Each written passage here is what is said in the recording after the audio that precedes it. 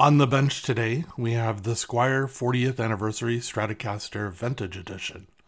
Seafoam green guitars to me are just beautiful and have a special place in my heart. I've mentioned in a video one time before that I started to really admire seafoam green Stratocasters in particular when I saw the movie Stranger Than Fiction.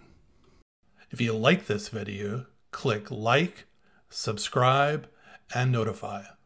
In the video, you see me assembling the guitar instead of pulling it out of a box. I bought the loaded body on an eBay auction as well as the neck. Both were for a Squier 40th anniversary Stratocaster. I got both for about $160 and they were listed as new, so it was a much cheaper approach to assemble a new guitar than it was for me to buy a new one. The new guitars retail for about $299 and the used versions, to be honest with you, are about the same price. They seem to really hold their value, I think, because of the reputation of the specific model. I really love the 40th anniversary Strat and Tele necks and purchase them regularly now for build necks on projects. The satin feel is great, and for the most part, they're pretty well made. The Telecaster necks, I think, are actually better than the Stratocaster necks, but that's just my opinion based on my experience. So, some specifications on the guitar. The body wood is made from an Asian wood from the Mora tree that has tonal properties similar to mahogany, so it's used in guitar construction and it's pronounced as NATO. The body finish is satin, which is okay. I mean, I like a gloss guitar body on a Stratocaster. The satin is okay. It's just not my first choice. I really love the color though. So the next thing I'm going to talk about is only an aesthetic thing and is purely personal. I know there's a lot of folks out there that will look at the pickguard the anodized aluminum pickguard that comes with this model and think, God, that's beautiful. I really love that. And that's really cool. The thing is, is I don't. I don't like the anodized feel on my hands. I also don't like the color at all. And so I had a new three ply Stratocaster white or I don't know, parchment uh, colored pickguard. So I replaced it out when I was assembling the guitar. And to me, I think that it looks better, but again, that's just my opinion. I know there's going to be, it's a totally personal choice preference type of thing. The neck shape is C. The neck is made of maple, has a scale length of 25.5, has a standard truss rod, and the finish on the neck is satin. The fingerboard material is maple, fret size is narrow tall, number of frets is 21, and something always surprises me to find on a guitar at this price point. The guitar comes with a bone nut. Um, some people will argue about that and say that they're actually uh, synthetic. I have two of the 40th anniversary Stratocaster necks right now, and I compared the nuts on both of them one of them, the one I installed on this guitar, to be honest with you, looks like a synthetic bone. Um, the other one, when compared to my other guitars, and just the feeling, and is, um, in my opinion, actually bone and not synthetic. The electronic configuration for pickups and electronics on this guitar are three single coils, the neck, middle, and bridge pickups.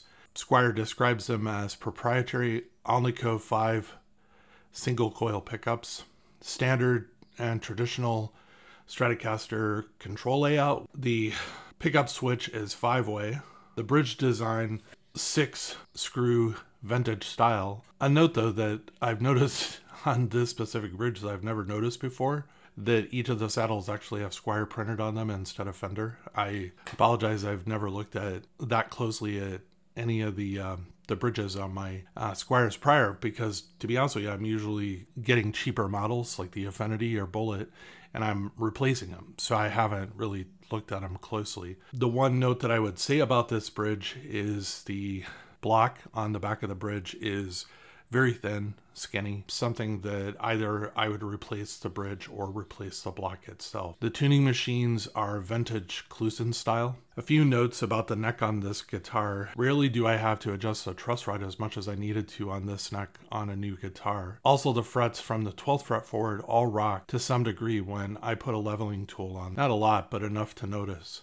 The front ends were in the middle to me in rating. When I ran my hand up and down the sides of the fretboard, it didn't really hurt, but it wasn't smooth either. So I'd rate them as not too rough, but not too smooth either. You could say that this specific neck needs some attention. I did have another of the same model neck, as I said before, on hand, and I checked it as well. The neck was straight and did not need adjusting. The frets did rock in four or five locations, and the edge of the frets felt exactly the same as the one I installed on this guitar. Overall, the finish on the body and the neck is excellent. When I weighed this guitar, it weighed 7 pounds 2 ounces. Overall, I would rate this guitar as a very good value at $299.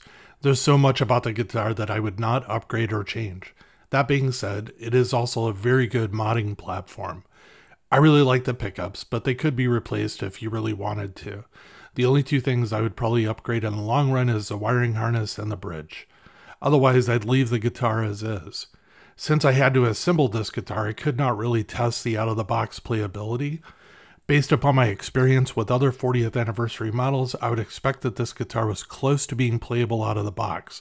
I had to adjust the string height and intonation for a standard playing experience. I'd recommend this guitar to anyone after a good setup.